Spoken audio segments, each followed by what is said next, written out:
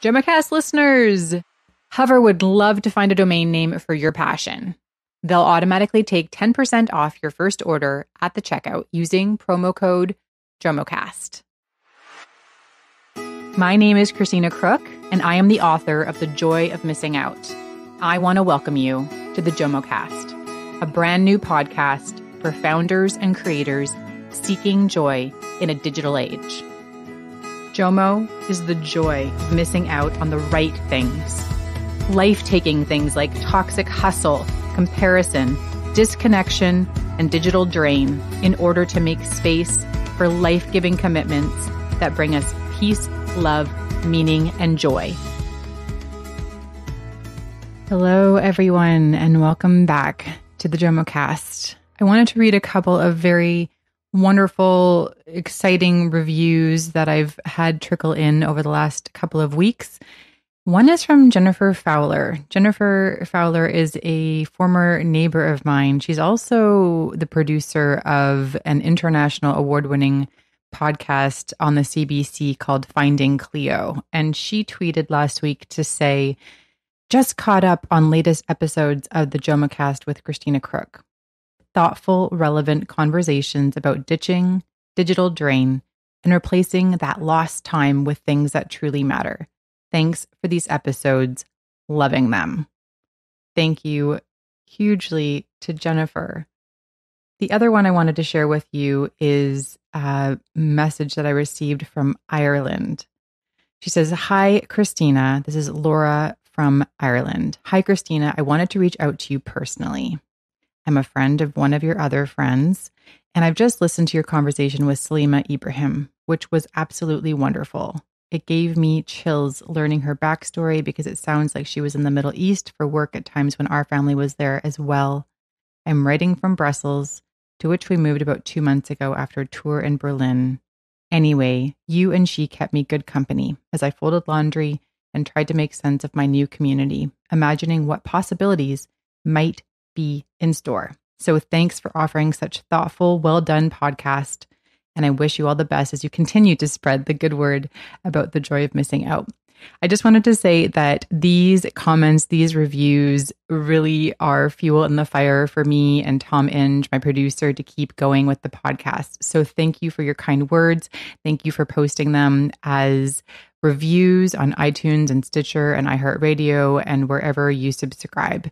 They all help take this podcast further. And if you haven't already shared the podcast with a couple of friends, could I ask you to do that this week? Can you tell a few people? That would be amazing. All right. So, this week on the podcast, we are speaking with Cristian Villamarin and Alanna Harvey, who are the creative minds behind Flipd, the app that demonstrates how digital well being and productivity are naturally compatible and how Jomo is not about turning your back on tech, but changing your relationship to it to one that's intentional, healthy, and positive. I met Cristian and Alanna in Toronto when they invited me out for coffee after reading my book a couple of years ago. And it's been incredibly exciting for me to see this local Toronto tech startup, which is focused on digital wellness, grow and expand and transform over the last couple of years. My particularly favorite parts of the conversation I had with them in downtown Toronto were about how launching and leading a successful startup is possible while holding space for active hobbies and building outside commitments and relationships outside of work. Alanna and Cristian are a couple. Uh, they're both athletes and they do a really great job of holding the joys of their outside of work life um, in balance with the joys of also building their company, which is also a great joy for them. Uh, another thing I really liked about this conversation is uh, we got into a conversation about how you build a business. You know, we hear a lot about why. Simon Sinek's, you know, uh, very successful TED talk about start with why. But we got into a conversation about the how of building a company being as equally, if not more, important. And the final thing I really enjoyed about this conversation was hearing from them how they together are building healthy tech habits as a couple. And they have some really awesome suggestions, and that comes near the end of this interview. Enjoy this week's episode of the JomoCast. Thanks for listening. I'm sitting with, correct me if I'm pronouncing it wrong, is it Cristian Villamarin? Yeah. Okay. And Alanna Harvey of Flipd App. Welcome. Thank you. The JOMOcast. Thank you. Excited to be here. Very exciting. so Alanna and Cristian reached out to me a number of years ago when I feel like Flipd was just an idea or was just starting out. A long time ago. I think it was probably like 2015, maybe. Yeah. And a lot has happened since then. So I'm really excited to sit down with you both. So we are in downtown Toronto. I usually like to set the scene. So we're right in the hub, kind of what you would call Toronto's uh, Times Square. Times Square. More or less. More or less. So it's very busy getting in here this morning. Yeah. Even some of your team members aren't even in the office yet because of subway delays. Yep. It's all part of reality. Um, so I wanted to start off. Uh, obviously, this is the JOMOcast. It's a podcast where I talk to founders and creators who are embracing the joy of missing out to thrive in a rapidly changing world. Um, I wanted to start off by asking, and maybe ask Cristian first, um, what does the joy of missing out mean to you? For me, I think it just means living in the moment, not really thinking what what is happening elsewhere or what is someone else doing. It's like I like to live here where I am today, and that's sort of the way that I live life. I don't really care about what other people are doing if I'm not there. Um, and then if I'm with someone right now, um, if I'm with Alanna, or if I'm with you, I I try to bring all my attention to this moment and work is still happening behind me, but I'm not thinking about what's happening there. I'm just I'm here with you today. That's what it means for me. I love it. How about you, Alanna? For me, it's about getting lost in the moment, um, really immersing yourself in moments that, you know, it, it could be five minutes, 45 minutes, an hour, a whole day, and you're just sort of there, fully present. You know, for us, it's when we go for a run. Um, for you i know it's when you're swimming like you you just get in this like zone that nothing else matters. For me it's cooking or honestly petting my cat for like 5 minutes. And it's it's just these feelings where you nothing else really matters except that exact moment that you're in no matter how big or small. Um and i think that our phones and technology can really get in the way of that which is why i i worry for people who don't get to experience those moments often enough. So you kind of touched a little bit about how you're personally embracing those things. You're talking about swimming, running together, cooking, petting the cat. I love that example. Oh, yeah. I feel like Jordan Peterson talks about like when you see a cat, like you should always pet a cat. Oh yeah. I could sit there and just like stare into her eyes and just be like petting her face. Or like, any cat. I've yeah. seen it walking in the neighborhood and it's like, there's a cat. I gotta stop and pet it. We're just like, we gotta keep moving. We got a destination to get to. Because I think a lot, and, and we're going to get you know pretty deep into this today, talking about Flipd and the ways that it's intentionally helping people disconnect from technology. But I think, and I'm curious to hear your experience with this. That when I speak to people about the removal of technology, it kind of sets people into a panic. But if you start to talk to them about the things that they can fill those spaces with, like those positive, joyful moments of being present to your loved one or doing an active hobby, that really gives you a lot of joy and meaning and also just personal benefit physically petting your cat um, then people can start to wrap their heads around okay yeah this is worth it for me. Have you encountered a bit of that in your work and, and in the ways you've been developing the app? I, I guess the question is um, when you talk about the removal of technology or reducing screen use do the people that you speak to on a daily basis have anxieties around that and how do you kind of work them through those anxieties i would say that it sort of begins with how Flipd is positioned. So we are we have two different uh, business channels.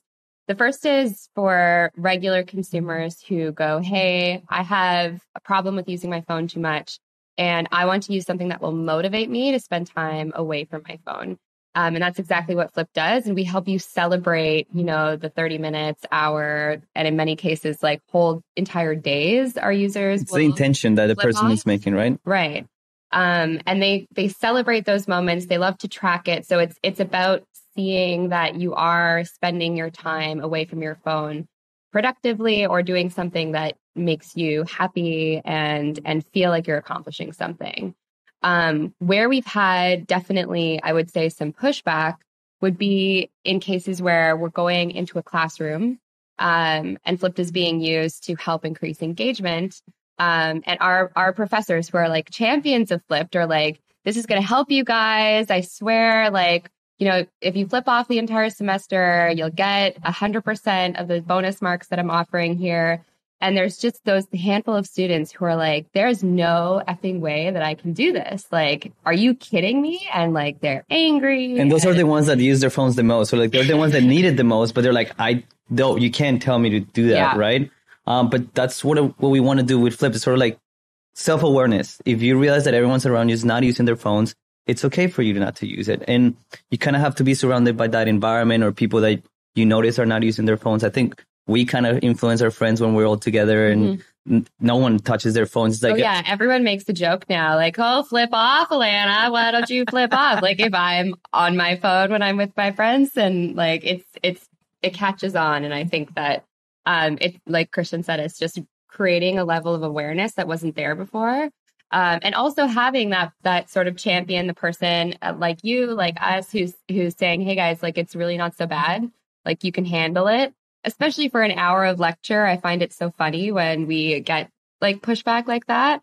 Um, but like I said, it's it's especially with instructors, they recognize like how important it is for these kids because a lot of them are uh, first year university students. No one has ever told them, "Hey, like unplug it's really good for you um, and so when we see the benefits at the end of the year like they get better grades there's higher attendance in all these classes we know that we're doing something right Hmm. Um, I mean, they will say to their professors, I actually enjoyed that no one else was using their Yeah. phone. And it becomes part of like a joke like, in the class. enjoy it but I enjoyed that no one else was on their phone So we've, we've always been focused on like, not like, like the carrot. So like making it a good experience and not telling you how much time you're spending on your phone. I find like that is the wrong way to go Right. about yeah, it. iOS screen time being the stick on the Yeah. alternative Like if your Fitbit things. told you how much time you spend sitting down, you're like, I do not want to wear this Fitbit ever Yeah. again. Um, right? Like we do. down for 18 hours today. But if you if you focus on like the time that you were standing and walking, what did you do when you were taking those steps? And it's like, regardless if you do ten thousand steps or five thousand steps, you end up walking and it was good for you. And we're trying to do the same thing with. Celebrating those. Five minutes, thirty minutes, an hour, the full day. We all have different goals. We all have different lives, and it's a different milestone for everybody. And you can't just put everyone on the same place. It's like if I spend an hour a day on my phone, you must spend an hour. Mhm. You might just thirty minutes might do the trick for you, right? Yeah. It's like running.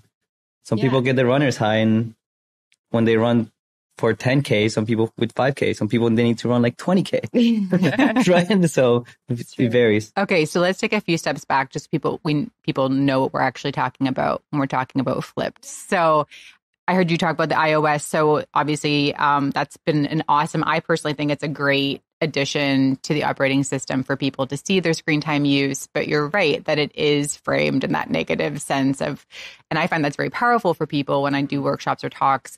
You know, when you walk people through and show them how they can check those things, there is this shaming element to, oh wow, this is a bit of a wake up call. But I really like how you're talking about framing it positively. You're Yeah. right. If someone had a Fitbit or this thing strapped to their arm every day that's like basically a shame odometer, right? Yeah. Like you feel really bad all the time about the time you're not active. So let's talk about Flipd and the app and how um, it's like what it's actually tracking and how it's motivating people to use their technology more mindfully. Yeah. So, uh, very simply put, uh, Flipd is sort of like a a screensaver that when you turn it on, um, as long as you keep it on, uh, that means that you're not using your phone. Um, so you can exit out of it at any point if you decide you want to quit, um, but you have to be intentional about that. And it, it means that you've sort of ended your session. Um, and our users will tag their sessions. Um, you can start one that's called study for, for three hours. Um, or there's one that's um, all day and that's eight hours. 12 hours. 12 that one's 12 um and so what what you what you end up doing is you can see sort of how your time is being well spent um across all of the different activities that you do off when you're spending time away from your phone um so it's empowering people to take the screen time like uh stats what they're seeing there and actually correct it by going okay this is all the time i'm spending away from my phone more positively Yeah. We're very focused on the time we'll spend and the activities that people are doing. Whatever time we'll spend means to you. Um, studying, sleeping, exercising. We all have a different de- definition, but it's setting the intention to I'm going to put my phone away to do X. I'm going to go read mm-hmm. for an hour. And, and within that hour, you might pick up your phone. Flip reminds you, Hey, you're reading, get back to what you're doing. Right. And, and that's, that's what we're trying to help people is just be reminded of their intentions and, and continue improving those, those goals. We all have 24 hours. So how are we spending those 24 hours per day? And that's why it also works um, in the classroom, like I described, um, because a couple of years ago, when we first started this, we were initially just a consumer facing app. Um, but we realized that there are a lot of educators out there that are really struggling with how to engage their students. I spoke with one the other day who was calling his 2008 to 2014 teaching years his golden years, and that everything since then has just completely fallen apart. That no one is engaged. Students are coming to class without answering questions. People, he he's a great teacher, but literally can't get people to not use their phones. Um, Which correlates when people cell phone adoption really took in with right. everyone else, and then well, yeah, when you attention. look at all, like there are a lot of different um, studies out there, especially Jean Twenge, which talks about how after 2012, we, um, sorry, we tipped over 50% of adoption for smartphones. Um, and so that it was interesting how he sort of said, like, after 2014, it's just so, like all fallen apart. Um, and of course, he uses Flip. and he was like, it's completely changed everything. Like, students, it gives them sort of this sense of like ownership, like, hey, I can do this. Like, I'm, you're being challenged. He called it something like classroom professionalism or yeah. something like that. And I love that word. He was just like, it's just like I'm creating like, like a professionalism level in my classroom. And this is sort of the way that we work, which is how life really works is yeah. you go to work, you, you can be on your phone the whole time. So what listeners might not know is that Flipd actually locks you out of your phone. Yeah, well, there's different there's different levels. Okay. Um, so there's one uh, where yeah you're locked out of all of your apps, but then there's this other more more light mode where you just turn it on and you can exit it at any point, and what it's doing is tracking the okay. same way that a Fitbit you turn it on, it tracks your run. You turn it off, your run is finished. Um, if you kept it going, then that's more time spent off your phone. Um, so it's that that that's how the two different uh, features work. How come you created Flipd? That's Cristian's story. Um, I when I moved to Canada in 2008, I was here as a refugee, and during my time here, my first year, I was going through a process where I had already finished high school. I couldn't go to university. I couldn't get a job.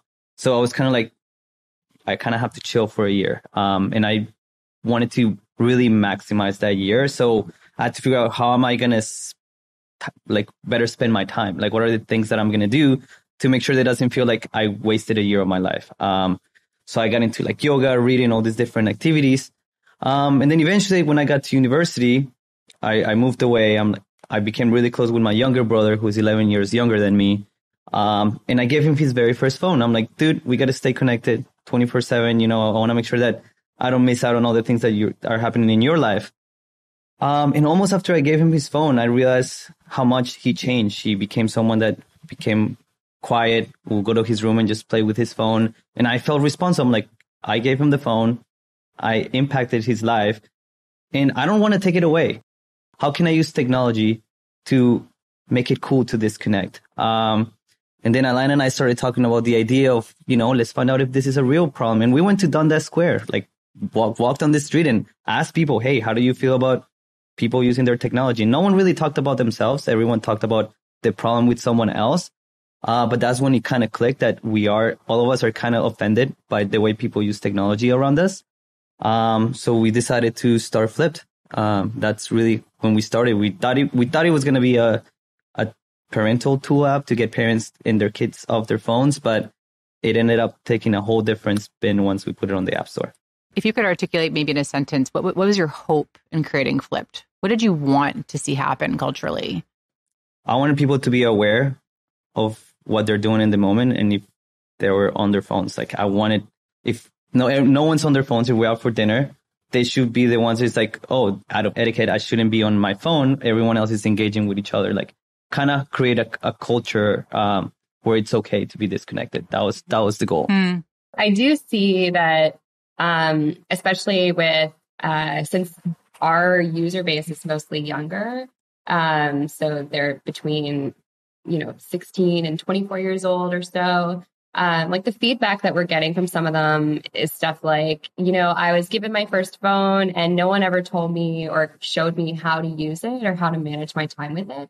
And Flipd is teaching me that. And I just find that so awesome. So that if we're doing anything right, then I'm I'm I'm happy about that. Which goes back to my little brother, right? It's like I don't want to I don't live at home to teach him, but it's like can we create something to create that culture shift or that behavior it's like oh okay i have to disconnect when i'm with my family or when i'm when i'm having dinner yeah. or you know phones became like the cigarette and people were just pulling them everywhere and eventually we kind of been pushing them out to mm-hmm. Do it outside in canada it's like you can't even do it like outside of the restaurant it's like go go away um so that's that's sort of like sometimes i see some similarities there what's the biggest struggle that you hear everyday people talking about when it comes to disconnecting from their phones? Struggling with disconnecting. Um, that's hard. Little people just would, they don't even think about a period of time and they just think that's hard. For us, we pretty much unplug over the weekends. Um, we still, we still use our, our phones, you know, here and there, but we're unplugged from our work. Um, and that's been something that people have sort of looked at us uh, pretty critically about. Um, like, oh wow, you don't do any work over the weekends, you don't check your emails and that kind of stuff. And we're like, well, n- no, like I, I, we do, I think, a great job prioritizing over the week. Um, obviously, if there's something incredibly urgent, we would tend to it. Um, but it's just to me like if you're if you're just constantly plugged in, then I don't think that you're being your most productive and efficient self. Um, so for us, it almost forces us like, you know, 7 p.m. on a Friday night, like that's it. You're done. You can't keep it going into the Saturday and Sunday. Um, you know, obviously there's every once in a while we do have to come in and do stuff. Um, but I find that's been an interesting um, critique from others when it, we're talking about what unplugging means to us, mm. which in many cases is disconnecting from our work and making sure that we're you know, Jomoing it out. yeah. um, are you getting that particularly from founders? Like, is that in, yeah. Definitely. Yeah. The startup scene, it's just all like work hard, be connected all the time, be sending emails. And it's like a bragging thing. It's like, I'm working harder than you, but it's like, are you? Because I, I'm a, I'm an athlete outside of outside of work. Like I train, I do all these things, and I take my rest period very serious. Like in in fact, like Elena's always like, you gotta do yoga, you gotta stretch. Like it's important for the rest of your body. And on the weekdays, we're we're like going hardcore here. Like we're going coming early, leave late, getting everything done.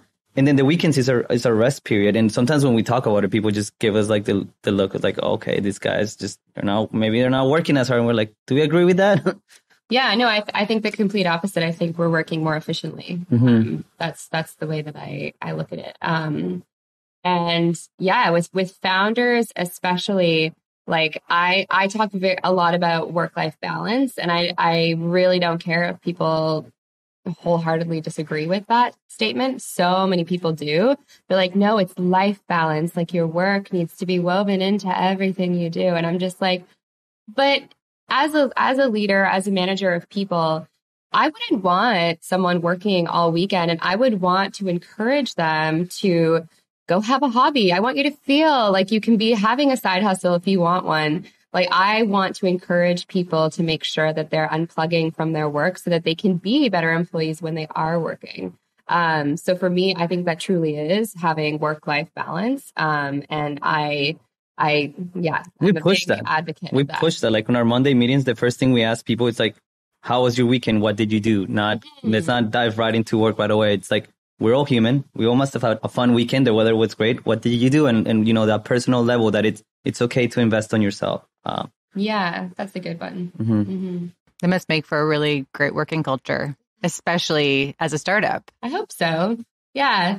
I well, I, I, gave a presentation yesterday that was about hiring um, and you know growing your first team. It was to a bunch of very early stage founders with Founders Institute here in Toronto.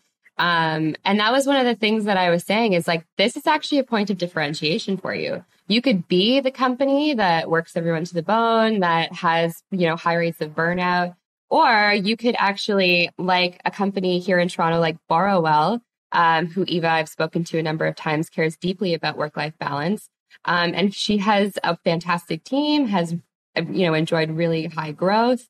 Um, and I think that you can choose which kind of company you want to be and what kind of person you want to be. Are you always plugged in or do you find joy in missing out and, you know, getting out there and, uh, you know, invest, like Cristian said, investing in yourself and making sure that you're giving yourself that time to grow and become a better person. corporate athletes, right? We just need that resting period. Yeah, totally. Exactly. If you look at athletes, imagine someone training like 24 seven, right. you know, that that's not possible. You need to, to rest. Um, you know, yeah, yeah, totally. That's a, it's a really good analogy. We constantly are, are thinking about this in terms of like fitness and stuff mm. and how it affects the body and the mind. So yeah.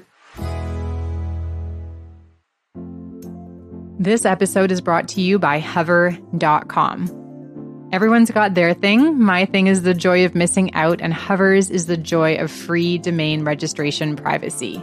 Hover is an incredible company, actually based here in Canada, which is where I live.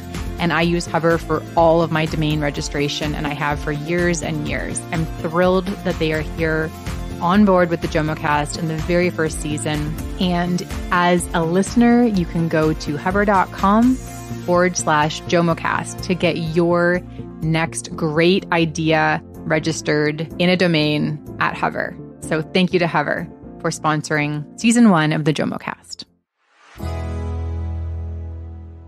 This wasn't a prepared question that I had for you, but it's something that I read this morning. Um, there's a, a web company in Vancouver called Domain Seven, and I'm on their email list. And my friend is the person that writes this newsletter every couple of weeks. And she was talking about, you know, Simon Sinek's why, right? Like start with why.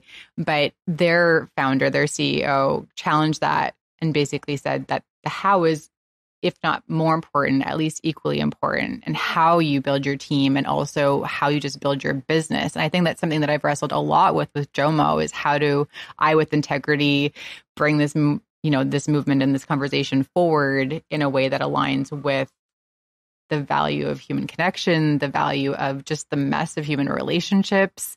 Um, there isn't an you know an obvious solution to the problem of digital overuse. I think that's a silver bullet for every person. I don't know if that's you have found that to be true. Like everyone has unique professional and personal demands. And so you know what works for you you know in terms of exercise isn't necessarily um, the answer for another person. I think the how is really important. I, and I hear you talking about that as founders, you know, that, that I hear that that is a big value for you, how you guys lead your team, how you personally, um, yeah, model that within the founder community. I think that's really inspiring and like completely lines up with the values of Flipd, right? like what you're trying to do. Yeah. Right. Yeah. I think, yeah. And uh, from, from early on, we always believed in what it was that we were doing and what we were trying to accomplish.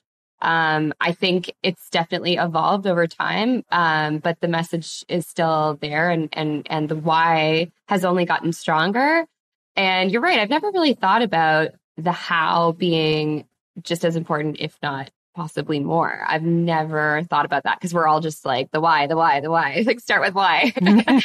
um, but start with how. Maybe that's maybe that should be or and how. You know, and how are you doing it? You and know, how, how is your team how is your team actually flourishing? How are you actually flourishing? Yeah. If the goal is human flourishing, then how we're doing it, I think matters just as much. Totally. I yeah. love that. Well, I think that goes back to our values and it's like, do we, are we doing the right things and heading towards the right goal. And you, you and I constantly check with ourselves. And we're like, are we do are we being the leaders that we want to be? Mm-hmm. Are we mm-hmm. being mindful about the things that we're doing? Are we being the people we want to be too? Yeah. Mm-hmm. Yeah. Like I know if if we were working ourselves, just draining ourselves and never finding space to unplug and um you know the one that i hate is like founders and i know we're we're move, we're talking a lot about entrepreneurship but i think it has a lot to do with jomo um, because like founders who sort of are like, I haven't taken a vacation in two years. And I'm just like, well, then you must like not be very healthy at all. like, I yeah. find we come back from like taking time off and we come up with ideas, yeah. um, with, with new perspectives. It's like important to sometimes take a step back, look at what's happened. It's like, Absolutely. how can this be, this be better? Cause sometimes we're like in the weeds. We're in like in, in the soup and we're cooking and sometimes we want to be the chef and kind of like look at it and like, things are looking good. Like I'm not part of the soup. Yeah. I'm actually making the soup. But sometimes you are in the soup and you can't see anything around you. That's the way that I see it. Cristian, I really like your analogies a lot. Yeah. I- yeah, that's, that, that's a new one. The soup. Okay, I'd love for you guys to share. You shared one already, that teacher, you know, that he had these prime years. Um, d- can you share another great success story um, that's come across your path? Yeah, well, I mean, so the the cool thing about uh, connecting with professors as your consumer is that they love to do research. So they've been doing. We have how many right now that are doing their own research in their in their classes? At least crazy. like six or so. Yeah, they're just like, and then they're sharing all the data In a couple of departments. They're so excited about it. Um, and so I would say one which you would almost think would be the opposite would occur was she introduced Flipd in her class. Um, I think it was 250 students. And uh, her DFW rates, which is uh, getting a grade of D, F, or withdrawing from the course, actually all decreased. Um, and you would think that someone who is being imposed upon to use something like Flipd, um, which is asking them to unplug for a semester, someone who would really hate that idea would be like, oh, screw this course. Like, I'm going to go take something Right. else, um, especially if it's like a Psych 100 course. But the fact that it actually was reduced um, and everyone's grades improved, that it's like, to me, early evidence that something like this is is so necessary, especially for first year college students that you know have never been told you have to unplug. It's really important for your mental and physical health um, when you're going in transitioning to something like a college education that's really demanding and life changing. Um, and so to me, I think, yeah, if, if we have any evidence at all that we can help, um, you know, 18 year olds and 19 year olds going away for school for the first time, like that's, that's really exciting for me. That's on the education side. But on the Yeah. consumer side, like we just started doing like challenges where you can do how many minutes can you get in a month? And there's a couple people there that have just, I'm like, are they cheating or are they spending 24 seven pretty much using Flipd and then they'll take a step back to use their phone for like five minutes and then they continue their day with Flipd. And it's crazy. Like Emily has, I don't know, she, she must spend, I, it gets very competitive and I start always like on the top three. person in the other like hemisphere named Emily, who's at the top of our leaderboard right now. He's like neck and neck with her. I'm, I'm always like, what is she doing? Like, she's just all day. And like, I want to learn more about like, we, we usually talk to like our users and she's one of our ambassadors, but you know, it's, it just blows my mind of how some people make this part of their everyday life. And this is how they want to spend their day and they want to be mindful of their cell phone and just, just implementing something that little into the app and then seeing the huge impact and competition and, and people wanting to spend time disconnected. Um, it just kind of has blown my mind in the last month, I think, since we implemented it Mhm. now. And now people are starting their own challenges, uh, which Yeah. is cool to see too. What would be an example of a challenge? So it's it's exactly like a step challenge. Um, so it's out of you know this month. If you usually there will be like some sort of threshold that you're trying that everyone on the leaderboard is trying to reach, and you're just like climbing up the leaderboard. Whoever reaches, like I'm on my Garmin in like a sixty thousand step challenge per week, um, which is yeah, you'd have to do a little less than like ninety five hundred a day steps or so. Um, so this is exactly the same in that it's how many minutes per month can you achieve, and we give them like, can you get to ten thousand? Um, I started with Start with 5,000 five. and then everybody just went, did at 5,000 in the first week. I'm like, that was too easy. Uh, let's try something, let's try something different. Um, and, and we're just still learning from what our users are doing. And we're like, okay, let's try something else. And we, we kind of just test theories there and, and then learn from, from them. Like mhm. we were users, but some, some of our users are like crazy champions and we're like, they need something harder. They need something better. Um, so that's sort of what we learn. How's your brother doing? Good. Uh, my brother now it's all about wellness, eating healthy, meditation. um, Wow. very self-aware.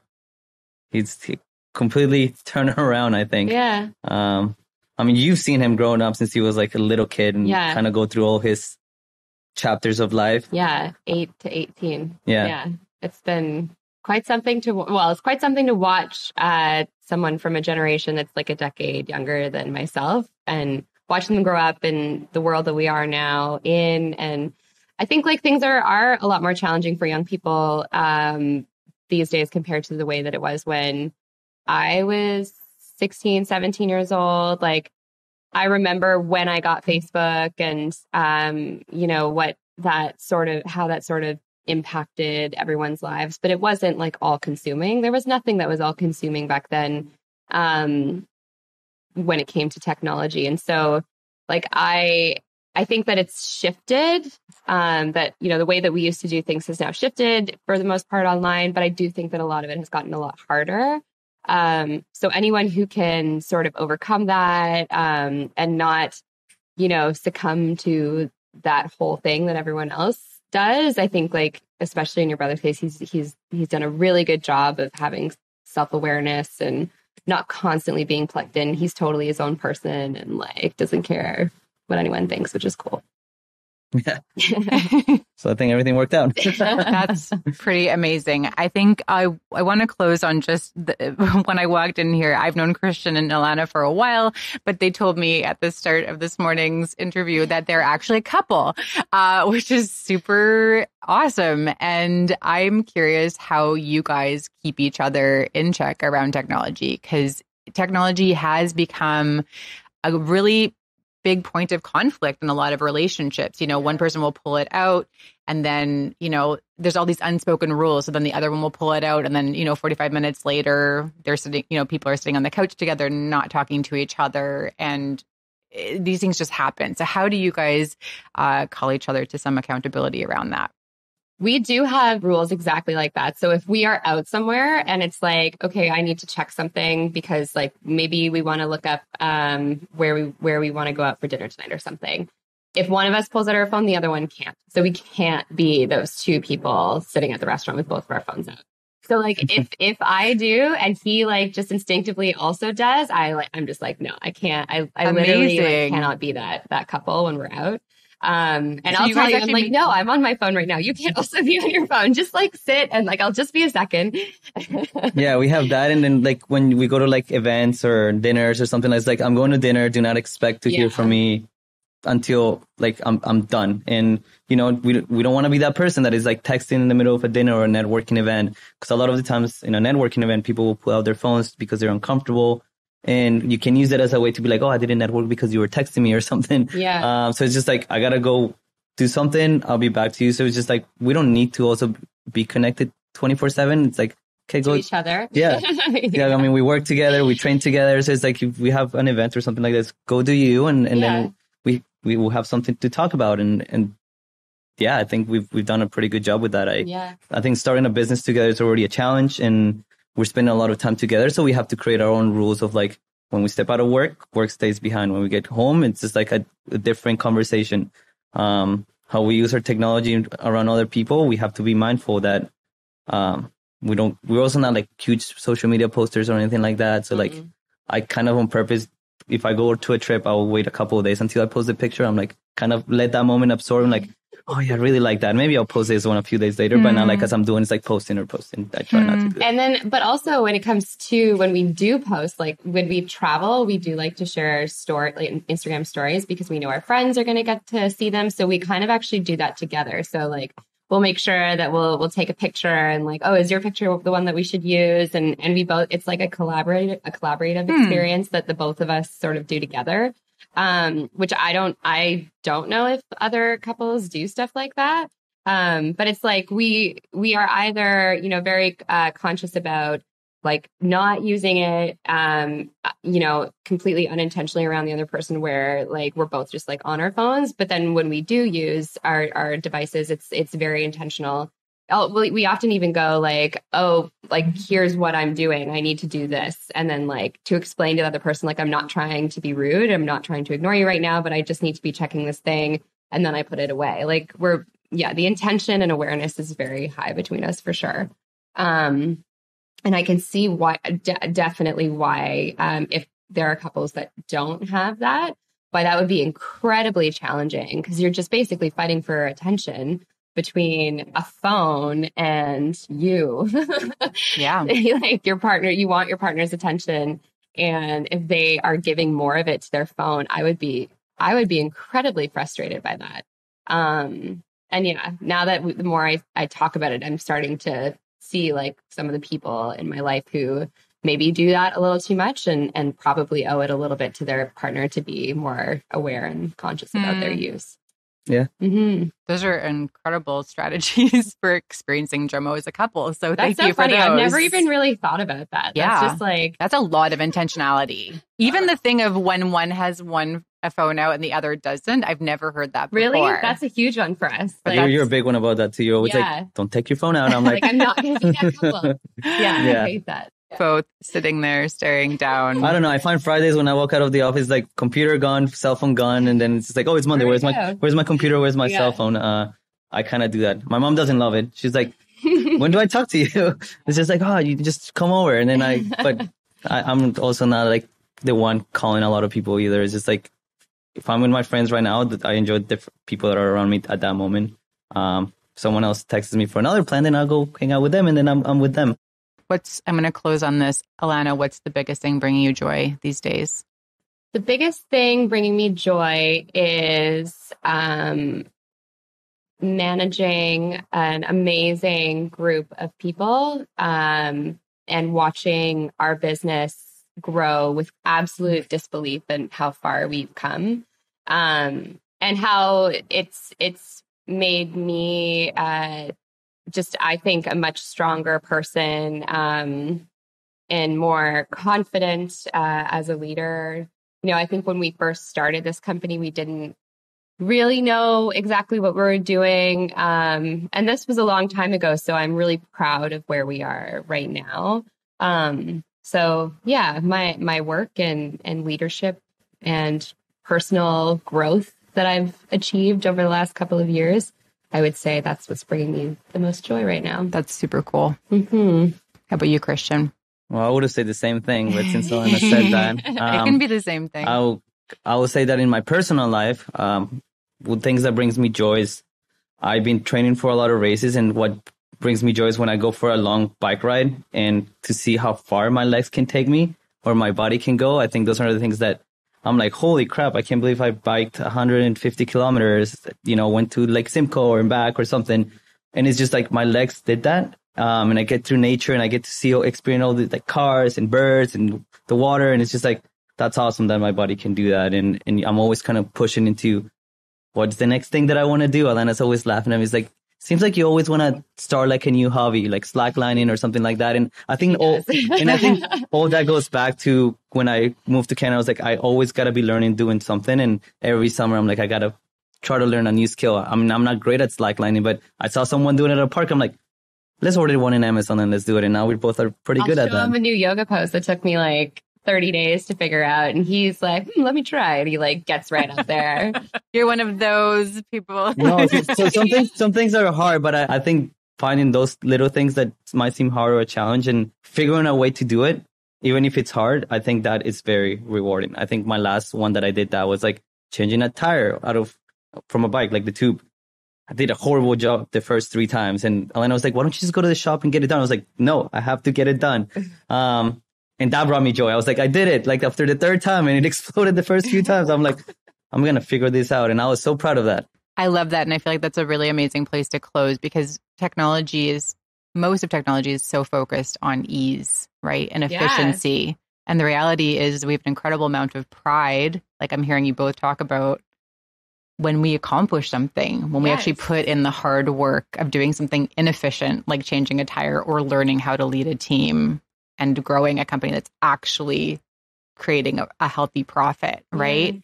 and there's incredible Yeah. joy in those things. And so, um, our constant push for ease and efficiency doesn't always serve, but there's good in Absolutely. inefficiency as well. Yeah, that's, I mean, I think a challenge and overcoming a challenge is what ultimately makes you more confident and, and successful and feel that, that sense of achievement. Celebrating the small wins. Yeah. And we do that in our personal Very, life very and our work important. life as well. Mhm. Thank you both so much for being with me today. That was, Thank was you. great. Yeah, this was awesome. Well, thank you for listening. You can learn more about our guests in the show notes and by visiting jomocast.com. The Jomocast is edited and produced by Thomas J. Inge, musician and composer by day, podcast ninja by night. Special thanks to writer Rebecca Wigand, musician Peter Katz, and educator Adam Kaplan for their practical and moral support creating this season of the podcast. The Jomocast is listener supported. When you sign up as a patron at patreon.com forward slash JomoCast, you'll get access to many bonus episodes with me and digital sociologist Dr. Jess Purium. Plus, we'll send you a Jomo Manifesto letterpress print, stickers, and a handwritten card in the mail because I believe in the power of the personal. Plus, snail mail is just one of the most joyful things on earth. If you enjoyed this episode, please rate and review it on iTunes, Spotify, Google Play, or wherever you subscribe. And a five star spectacular. Do you want more Jomo? Go to experiencejomo.com to sign up for a free week of Jomo Quests to get you started on your journey. As always, remember, there is joy missing out on the right things. I'm your host, Christina Crook. Thanks for listening.